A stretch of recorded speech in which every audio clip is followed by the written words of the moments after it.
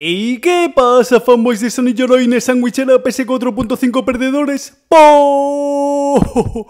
Madre mía, amigos, madre mía, amigos. Esto de Microsoft es increíble, amigos. Esto de Phil Anaconda Spencer es increíble, amigos.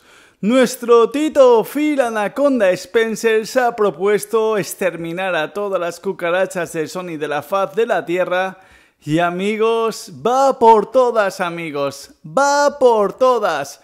Atentos amigos porque Microsoft y CD Projekt, ¿vale? La creadora de posiblemente el mejor videojuego de este año 2020, Cyberpunk 2077. Sí amigos, desde el mismo día de lanzamiento que se lance este videojuego, estará en el Xbox Game Pass. Algo extraordinario amigos, algo impresionante, algo que jamás antes habíamos visto en un videojuego multiplataforma, ¿vale? Sabemos que a día de hoy los juegos exclusivos, ¿vale? Del Xbox Game Studios, todos, todos, repito, todos, todos, desde el mismo día 1 de lanzamiento, los tenemos en la plataforma del Xbox Game Pass, pero Microsoft sabe que este videojuego va a marcar un antes y un después y lo quiere en su suscripción, lo quiere en el Xbox Game Pass amigos desde el mismo día 1 de lanzamiento.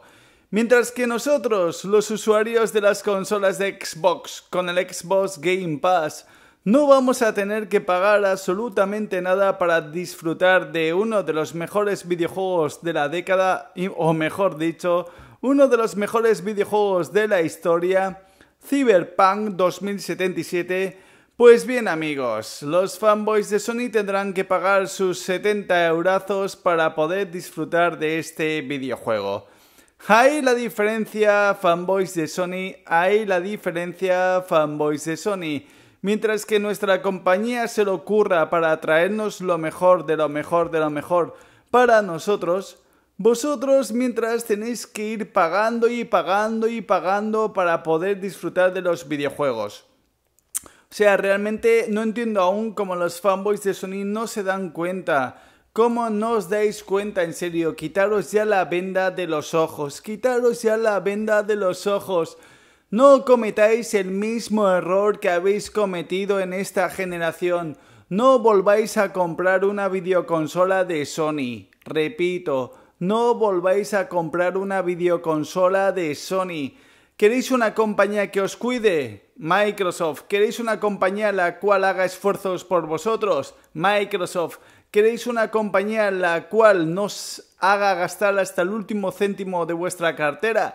Microsoft sea, realmente queréis una compañía que os haga feliz, Microsoft. Queréis una compañía la cual se preocupe por vosotros, Microsoft. Sea, realmente fanboys de Sony, en serio, hacerme caso. Seréis más felices, en serio, hacerme caso.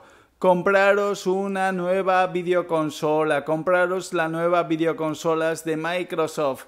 Veréis cómo vais a notar el cambio. Ahora mismo estáis tristes Estáis recaídos en serio. Con Microsoft no estaréis contentos, alegres. ¿Por qué? Porque es una compañía la cual, ¿vale?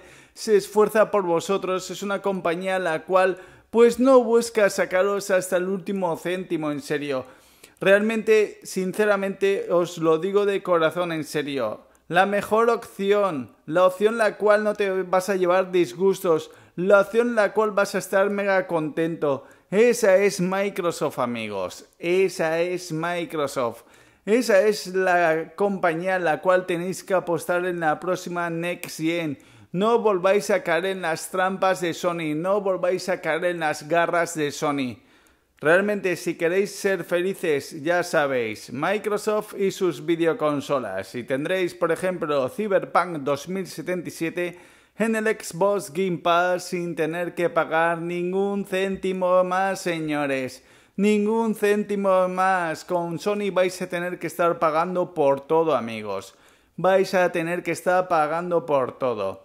Y bueno amigos, hasta aquí el vídeo, reventar el botón de like, compartir el vídeo para que toda la comunidad se entere de esta noticia. Dejadme en los comentarios qué os parece esta, este gran gesto por parte de Phil Anaconda Spencer. Sinceramente es algo extraordinario. Suscríbete para mucho más, activa la campanita y hasta el próximo vídeo. Fanboys de Sony Yoroines, Sandwichera PS4.5 perdedores. Adiós.